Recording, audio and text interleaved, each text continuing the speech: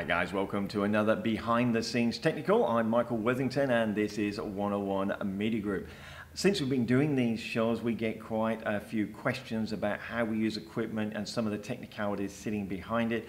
Really happy to share this information with you and help you out. You know, I've been helped, everyone on the YouTube channels has been, and especially those guys that go out and do live streaming and recording for our clients. One of the questions that came up was about the Latte Panda. What do we do with a Latte Panda? How do we use it? What's its benefits? And a lot of stuff like that. Okay, Two things. First of all, we do studio recording as well. So in a studio setting, they, by the way, the monitor at the back showing the blue screen, that's Windows 10. That's the Latte Panda now in output mode. In a studio, I can put up a PowerPoint presentation, and it means that I put that up and I can project it onto the screen. So it means that the clients and the talent that are actually presenting the show can watch their own PowerPoint presentation and talk themselves through it uh, makes it really easy. The um, Hyperdeck Studio Mini is what we do all our recording on using SD drives. Uh, they are cards. Excellent. It's in the machine, so that's why I got the box out, just to show you what I was talking about. So that works really, really well in the studio. Uh, and that's the Latte Panda. If we're in a live event, however, that is not what we want. We want a bit more flexibility and a little bit more control. We want to decide whether the viewers watching the live stream just get the whole screen full of the PowerPoint presentation when they're talking about it, or whether they want to get a wide shot so they can see the presenter and see the PowerPoint being presented, being um, yeah, projected up on the screen behind. For that, we'd run the PowerPoint through a separate laptop through their projector system and we use a Digitech. This is a, a splitter, a visual splitter. It's a three-in-one HDMI uh, UHD splitter. It's got three inputs, so we can get two laptops coming into this, and our switcher unit coming into this. So our program output's coming into this as well, and there's the output there that goes into projectors. Three comes in, and that goes out. That's what we use it for there. That's live streaming. So live streaming an event, recording an event, that then allows your um, a PowerPoint to be being projected up onto the screen so the audience can see it and participate. You can then get the choice of mixing your cameras from being a wide view, looking at it, or you can flick the thing into uh, program view and you can get the actual whole PowerPoint as you want it. Um, the other advantage here is that while the laptop is running the PowerPoint presentation, for instance, your Latte Panda can be doing other things. It can have other graphics loaded. It can have uh, weather maps loaded. It can serve someone's um, website, so we can go and have a look at somebody's website. And again, it gives the presenter some flexibility to put his website up. That'll be projected on the screen. We can then make it full view. A lot of stuff going on. In the studio, it also has advantages being a computer. Um, the ATEM HD switcher, the Blackmagic ATEM HD, at the back, you can't load videos in for uh, your upstream key. You can load still shots, but not videos. So if you want to have a video as your upstream key, that's another job the Latte Panda can produce. I'll just give you a quick example. So I put a little video clip up onto the Latte Panda. Uh, the big screen's up. I'll use, oh, by the way, we use a wireless keyboard and mouse. It's all built in one. I find that easier. I will just go and start that up. So do a double click and the program output, that should come up. And there we go. It's in. Uh, we'll come across to here and I'll just make sure it's on loop for us. So that is on repeat. Okay. So now we've got that operating. Now what we can do is obviously that's the background and we want to come on air.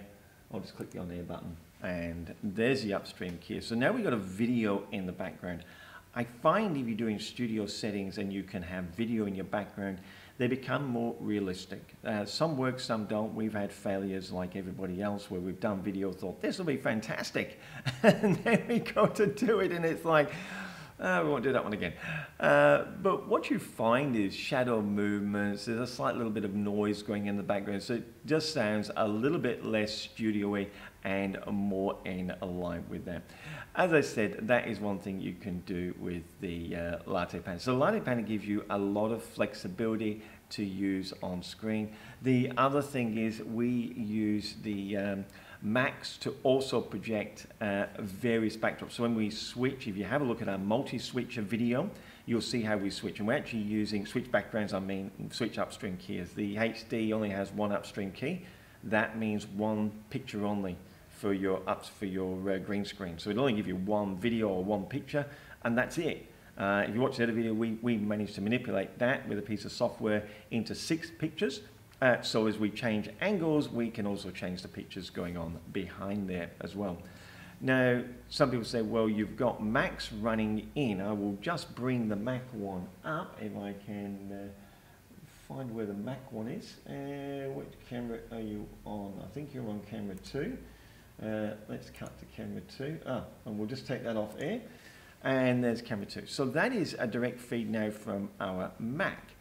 Now, a few people have written in and said you talked about this as well. You and, and by the way, that is uh, Final Cut Pro that is up there at the moment. That I'm just doing a bit of an edit on. Um, and they're saying they've tried it and it's not working. Uh, well, it's because the ATEM HD switcher is, well, in layman's terms, it's a pig. it just won't read it. Uh, I managed to find uh, a guy on the internet, and that is Sam Angello. I'm going to put his link underneath. Thanks, Sam, for this. It is the Switch RX or Switch ResX piece of software, and it is fantastic. You simply click it open, set your resolution, and it will talk to your ATEM switcher beautifully. That is Sam Angello. Thanks again, buddy. That was a great piece of advice. I think it was as cheap as chips. I think it was 25 bucks or something to download that.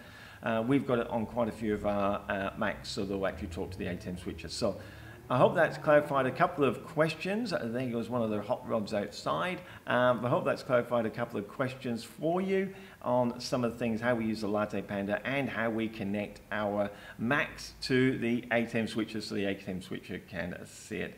Guys, until next time, I hope you take care. Look for our patrons. Uh, yes, we're going behind the scenes of growing a successful business. Now, uh, it's only $2 a week to be a patron. Um, and basically, we want to help people grow successful businesses, whether that's online or offline. Uh, last week we talked about don't niche. That's a mugs game. It really is. And I don't know who came up with it. All sounds fine and dandy. It's absolutely a lot of rubbish. Um, that is not how the big boys play. That is not how you grow a successful business. And we talked about that. In this week's episode, I'm going to answer some of your questions that you uh, sent in. Some people sent some private questions in about that and just wanted some clarification. Uh, so I'm going to answer them that question. This week, we're going to be talking about it's all good and all fine and dandy having all this stuff and all this advertising going out, but how do you get people to pay attention? It's a three step formula, and that's what we're covering in Patrons this week. So for our patrons, stay tuned. That's coming up right now. Uh, for everyone else, thank you for joining us on YouTube once again. Hope you got something out of this video. We really do appreciate your support. Please like, share, make some comments, ask us some questions. We love doing the videos for you. Patrons, stay tuned. No matter what techniques or what equipment or anything we use and we share with you, the number one secret to success, whether you're face to face, whether you're doing a keynote talk, whether you're online producing YouTube videos, is to be authentic. Dare to be you.